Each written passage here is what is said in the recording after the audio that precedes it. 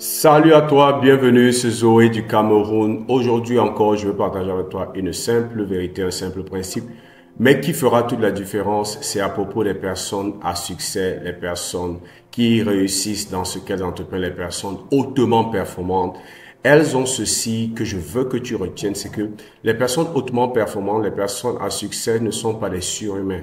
Les personnes à succès, les personnes hautement performantes sont des personnes qui ont des défis comme nous, qui ont des défauts comme nous, qui ont des moments de doute, qui ont des moments de crainte, qui ont des moments de peur, qui ont aussi des moments de joie, de foi, d'espérance, de, des, des boosts d'énergie, mais ce sont des personnes comme nous. Mais qu'est-ce qui fait la différence entre les personnes à succès, les personnes hautement performantes et le reste? C'est que les personnes à succès ont bâti autour d'un système qui les pousse à agir, qui les pousse à agir selon les promesses qui se sont faites. Un système qui ne leur permet pas de baisser les bras, un système qui les pousse dans leur dernier retranchement pour pouvoir libérer leur potentiel. Si toi aussi tu veux atteindre les hauteurs dans ton domaine, tu veux être un leader dans ton secteur d'activité, tu veux devenir une personne hautement performante dans ton domaine d'activité, il est important que tu saches ceci non seulement tu n'es pas, un, tu n'es pas un super homme, tu n'es pas une super femme, mais tu as besoin de bâtir autour de toi un système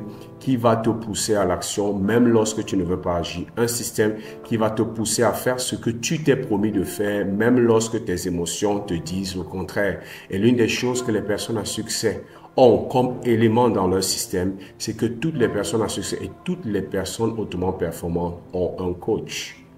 Michael Jordan avait un coach, LeBron James a un coach, Mohamed Salah a un coach, euh, Karim Benzema a un coach, Lionel Messi a un coach, Lewis Hamilton a un coach, Kobe Bryant avait un coach, Serena Williams avait des coachs, tu as besoin des coachs, les directeurs, les founders, les CEO, toutes ces grandes personnalités, les Elon Musk, toutes ces personnes ont des coachs personnels parce qu'elles ont compris que lorsque les moments deviennent difficiles, lorsque ça devient difficile d'avancer, lorsque je commence à être rempli de doutes, de craintes et d'inquiétudes, lorsque je ne sais plus quoi faire, j'ai besoin de quelqu'un avec de la sagesse, quelqu'un qui sait de quoi il parle, quelqu'un avec une autre perspective, quelqu'un qui est capable de voir ce que je ne peux pas voir, quelqu'un qui est capable de voir la grandeur qui sommeille en moi, quelqu'un qui est capable de voir mon potentiel, quelqu'un qui est capable de demander à ce potentiel de se manifester, quelles que soient les circonstances. Quelqu'un qui sait de quoi il parle, quelqu'un qui a prouvé par ses résultats qu'il sait de quoi il parle. Nous avons besoin de coach. Tu as besoin d'un coach. Si tu veux vivre une vie médiocre ou, ou moyenne, il n'y a pas de problème. Mais si tu veux vraiment devenir une référence dans ton domaine, c'est obligatoire. Ce n'est pas une option. Il te faut un coach.